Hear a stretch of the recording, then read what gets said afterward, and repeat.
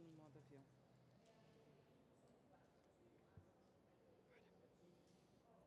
Bom dia. É, hoje pela manhã o presidente Lula fez mais uma reunião de coordenação de governo. O presidente tem feito durante toda a semana passada reuniões diárias, trabalhando intensamente, reunindo os ministros e ministras, é, tratando sempre é, diariamente dos temas do país.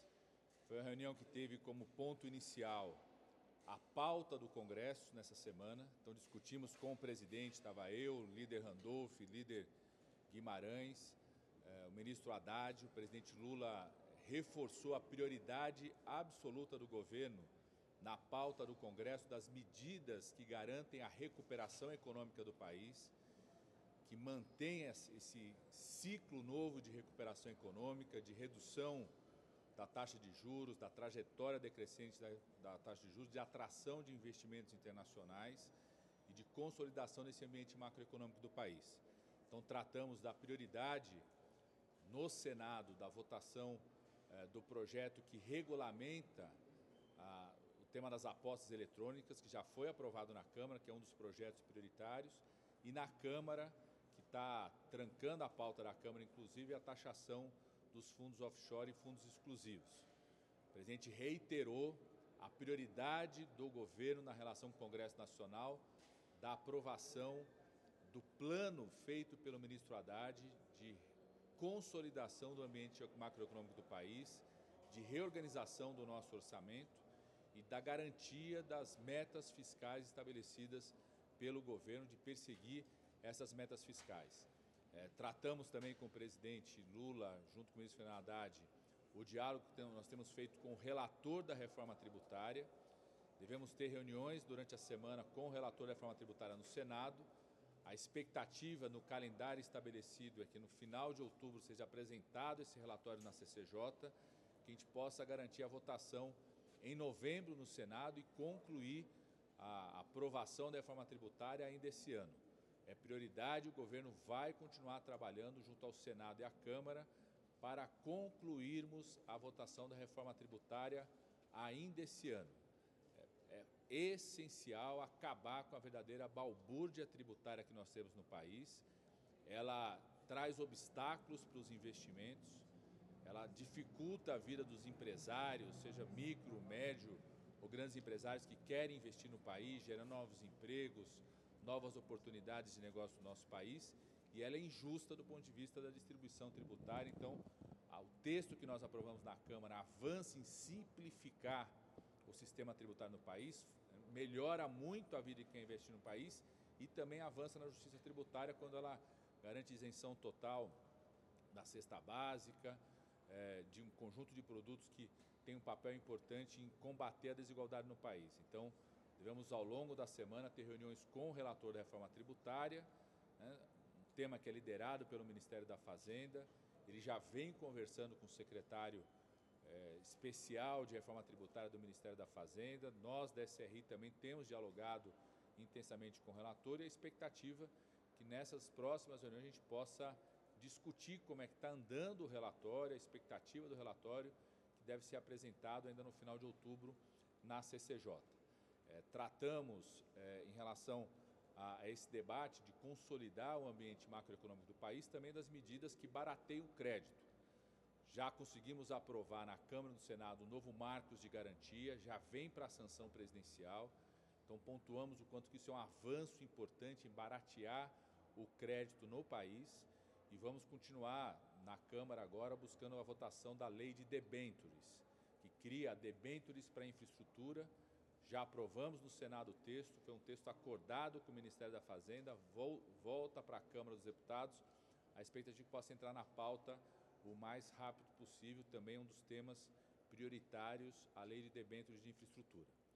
É, vocês sabem que um dos eixos prioritários da nossa agenda legislativa são os projetos relacionados à transição ecológica. Então, passamos para o presidente a aprovação do Senado é, do novo do sistema brasileiro de compensações das emissões de carbono, que busca reduzir as emissões de carbono, cria um novo mercado regulado de crédito de carbono no, no país, que isso vai para a Câmara, já está na Câmara, Estamos em discussão na Câmara dos Deputados, já tem um relator, o líder do PV, Aliel, tem projetos que deve ser pensado para que a gente possa votar também aí ao longo do mês de outubro, novembro, trabalhar para aprovação na Câmara no, no texto, nas bases daquilo que foi aprovado pelo Senado.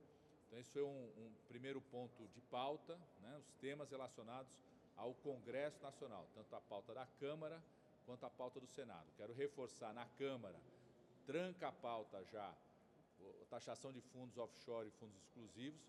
O governo tem acordo com o relatório apresentado pelo relator Pedro Paulo, tem conversado com as bancadas, há marcado para ser votado na semana que vem. Na última semana, os líderes trataram, junto com o presidente exercício, a possibilidade de votar essa semana, à medida que tranca a pauta. Vamos continuar dialogando. Posso votar essa semana ou próxima semana. Fundamental é que tenha um relatório acordado com o governo, expectativa que a gente possa aprovar a taxação dos fundos offshore, os fundos exclusivos, são chamados fundos dos super ricos no país, para que possam contribuir é, para o desenvolvimento econômico do país, é, arrecadando recursos importantes para os investimentos no nosso país. Na, na pauta do Senado, nós vamos trabalhar para ver se a gente consegue votar o mais rápido possível a regulação da taxação das apostas eletrônicas e o debate do relatório da reforma tributária. Nós temos também essa semana é, a apresentação do relatório final da CPMI, que, na nossa opinião, vai sacramentar, botar uma pá de cal definitiva naquela teoria terraplanista que tentava responsabilizar o governo, o Congresso Nacional e o Supremo pelos atos golpistas, os atos terroristas do dia 8 de janeiro. O relatório, a relatora Elisiane Gama, expectativa de que esse relatório é, sacramente de vez, né, é, aquela teoria terraplanista, dê uma pá de cal é, naquela teoria, como nós dissemos desde o começo, né, acabando com aquela teoria de uma certa extrema-direita que passou pano para os atos golpistas terroristas do dia 8 de janeiro, fique cada vez mais evidente e possa indiciar todos aqueles que nos relatórios, nos depoimentos, ficaram reuniram evidências de que planejaram, executaram ou financiaram os atos golpistas do dia 8 de janeiro. Então, vamos acompanhar de perto a, a apresentação do relatório, a expectativa de votação também do relatório, ainda essa semana, do relatório da CPMI. Então, esse foi um primeiro ponto. Segundo ponto é aquilo que o presidente Lula vem fazendo desde a semana passada, trabalhando diariamente, permanentemente, por videoconferência, por ligação telefônica, ele vem monitorando, junto ao vice-presidente Alckmin, as ações do governo federal de apoio à situação da seca no Amazonas, situação das enchentes no Rio Grande do Sul, Santa Catarina. O Ministério da Integração já monitora a situação do Paraná e interior de São Paulo. Então, presidente foi, foi dar um relato da situação desses, dessas quatro regiões. Nós temos hoje, no estado do Amazonas, a ministra da Saúde é, está lá hoje no Amazonas, junto com o governo do estado, junto com as prefeituras, vai anunciar investimentos importantes de socorro e de apoio às ações na área da saúde no estado do Amazonas. Já foi lá a ministra do Meio Ambiente, o ministro da Integração, Ministério do Desenvolvimento Social, o Ministério das Cidades, Ministério do Desenvolvimento Agrário, todos os ministérios envolvidos nessa ação no estado do Amazonas. E o presidente solicitou ao vice-presidente Alckmin que continuasse em contato direto com o governo do estado. Estamos à disposição, inclusive, para termos reuniões essa semana de monitoramento das ações que estão sendo desenvolvidas no estado do Amazonas. Também no caso de Santa Catarina, já foi lá o Ministério da Integração, o ministro Valdez, ministra Marina. Nós estaremos no próximo sábado, Ministério das Relações Institucionais, numa ação junto ao governo do estado e aos prefeitos e prefeitas de Santa Catarina. Então, ao longo da semana, vamos continuar monitorando as ações, as medidas de ações de apoio do governo federal estamos preparados para no próximo sábado estar lá junto na agenda, junto com o governo do estado, os prefeitos e prefeitas de Santa Catarina, para reforçar as ações, continuar monitorando essas ações. O presidente Lula tem tido uma preocupação especial ao longo desse período em acompanhamento, trabalhando diariamente no acompanhamento e monitoramento das ações. E o terceiro ponto é um conjunto de anúncios que devemos ter durante a semana. Essa semana completa 20 anos do Programa de Aquisição de Alimentos, 20 anos do Bolsa Família, tem ações do Minha Casa Minha Vida. Nós aprovamos uh, no Congresso Nacional a lei que cria o Pacto de Retomada de Obras na área da educação, saúde e cultura. Está vindo para a sanção presidencial. Então temos preparado junto com o Ministério da Educação também, é, junto com a sanção, podemos ter né, um conjunto de ações já de retomada de obras que ficaram paralisadas. Informamos também ao presidente o andamento do, do processo de seleção do novo PAC, dos projetos que os municípios e estados estão apresentando, e o ministro Rui Costa hoje está no Rio Grande do Norte, então as agendas do Ministério da Casa Civil também de lançamento dos PACs nos estados, não só lançamento para empresários, prefeitos, mas visita a obras, eh, monitorando, mostrando que o novo PAC já está em andamento, um acompanhamento permanente das ações do novo PAC. Então, esse é o resumo aqui da, da reunião que realizamos hoje pela manhã e fico à disposição de vocês sobre alguma dúvida. Alguma, a questão da guerra ah, sim, desculpa. foi debatida, Foi. Né? E também se os demais países pediram ajuda ao Brasil para poder repatriar e trazer, resgatar pessoas na área de Gaza? Não, isso eu não falei aqui porque o Ministério das Relações Exteriores tem mantido a imprensa, a população brasileira informada sobre todas as ações, mas foi feito sim um balanço, tanto pelo ministro Mauro Vieira, quanto pelo ministro José Múcio, quanto pelo assessor especial Celso Amorim, primeiro das ações humanitárias de repatriação dos brasileiros. A prioridade absoluta do governo federal, do governo brasileiro, é salvar vidas, é trabalhar incens, né, permanentemente, trabalhar pela, pelo cessar-fogo humanitário na região, para salvar vidas, pelo apelo que o presidente Lula já fez internacionalmente da liberação dos reféns, sobretudo crianças e mulheres, e de repatriação dos brasileiros. Então, o ministro Mauro Vieira deu um relato sobre isso, o ministro José Múcio também, das operações de retorno ao Brasil. Continuam essas operações, à medida que tivermos ainda brasileiros retornarem ao nosso país, que a gente possa ser repatriados. O Brasil tem sido exemplo nessa ação de repatriação. É, foi a ação mais rápida na história da FAB de repatriação de brasileiros. O Brasil foi o primeiro país a repatriar é, seus é, né, brasileiros para o nosso país e essas ações continuam. Continua também a mobilização de todo o Ministério das Relações Exteriores no sentido da liberação de brasileiros que estavam na faixa de Gaza, já estão no sul da faixa de Gaza, muito próximo já eh, da fronteira. O Ministério das Relações Exteriores tem mantido vocês informados sobre essas tratativas. Os três embaixadores, embaixador brasileiro no Egito, em Israel e Palestina, estão mobilizados tratando disso.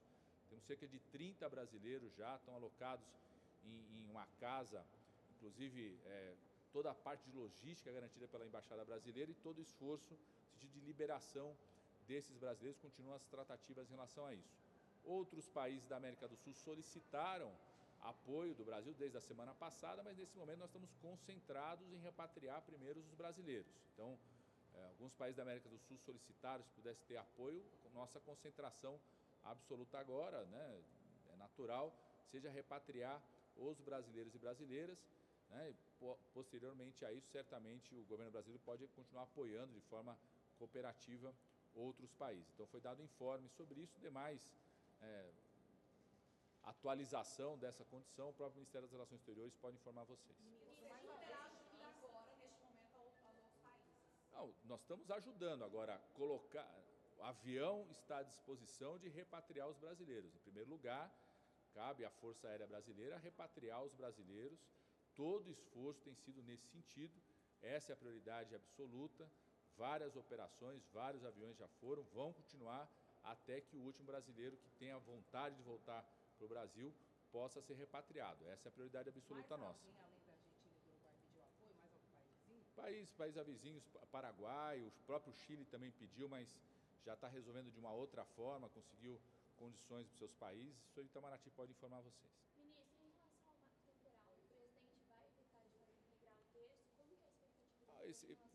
O texto já veio para os ministérios, os ministérios, são vários ministérios envolvidos, nós estamos é, aguardando a manifestação dos ministérios, temos até o dia 20 de outubro para é o, prazo limite para essa decisão. É, os vários ministérios estão começando a se posicionar. Terá uma reunião, Casa Civil, nós, SRI, durante a semana para tomar uma decisão final.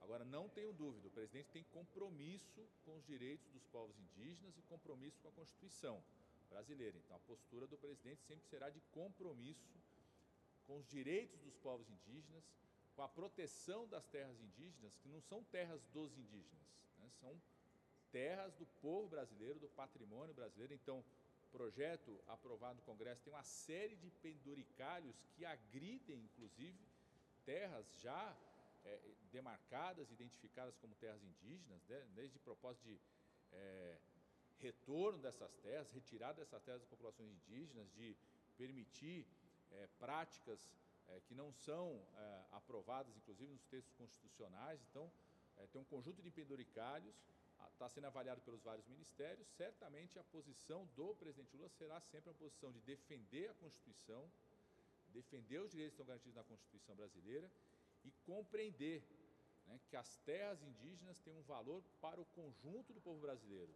para a União, é um patrimônio da União e é um ativo muito importante nesse momento que o Brasil assume um protagonismo mundial no enfrentamento à agenda das mudanças climáticas. O Brasil tem conseguido atrair investimentos exatamente por ter essa compreensão de que meio ambiente e desenvolvimento econômico podem caminhar juntos. E as terras indígenas têm um papel importante na proteção ambiental do país, na proteção da nossa biodiversidade, da nossa diversidade cultural, né, um ativo muito importante, inclusive, para o desenvolvimento econômico brasileiro. Ministro, o presidente na próxima semana ele já vem despachar aqui no Planalto? Não, o presidente vai continuar seguindo as orientações médicas. As orientações médicas reforçam, né, continuar na programação das orientações médicas, o presidente, ao longo dessa semana, continue trabalhando intensamente como ele está fazendo, participando de reuniões, ligando para os seus ministros, fazendo agendas permanentes, mas a recomendação médica reforça que ele fique essa semana ainda é, no Palácio do Alvorada. Então o presidente vai seguindo as recomendações médicas. Na medida que as recomendações médicas possam mudar, aí muda a agenda. Mas o trabalho está intenso. O presidente na semana passada fez reuniões diárias, conosco fez reuniões todos os dias por videoconferência. Né? abriu a semana hoje com a reunião envolvendo vários ministros, discutindo a pauta do Congresso na semana, a agenda do governo de anúncios, tanto do Bolsa Família, quanto do Programa de Aquisição de Alimentos, quanto o Pacto da Retomada de Obras da, da Educação. Então, tem tratado dos vários temas, trabalhando e monitorando as ações do Amazonas, Santa Catarina, Rio Grande do Sul.